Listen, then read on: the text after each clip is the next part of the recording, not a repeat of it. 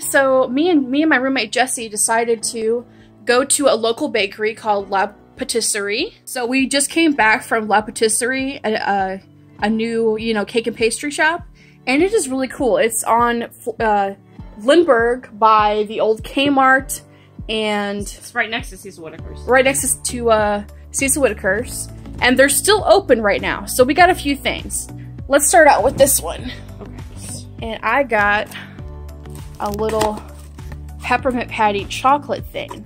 You want to share what you got? So I got five uh, macaroons. I'm always afraid I'm pronouncing it wrong.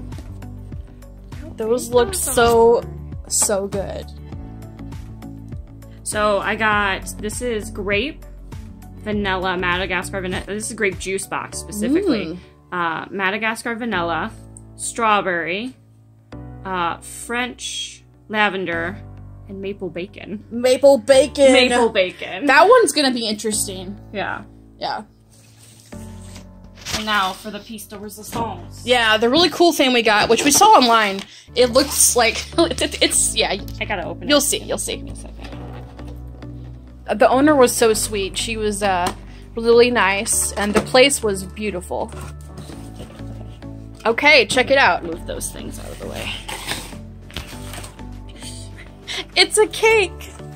Look what it says. It's a TV, and it says hashtag wash your hands. That is so awesome. See, camera camera contamination. okay, let's see what it looks like. she said it was vanilla, so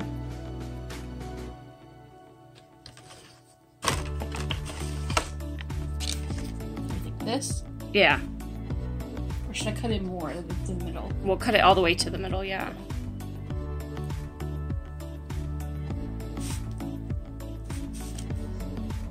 Oh, I see some color.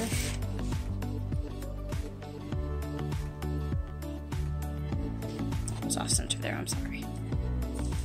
Do you want to take it? I'll pull it out. Or you got it? Yeah. Reveal.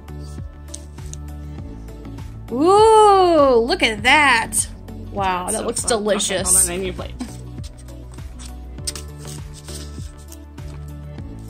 Okay, let's do a quick taste test at the end to see if it's okay. Okay, go ahead. You gonna do it with me? Okay.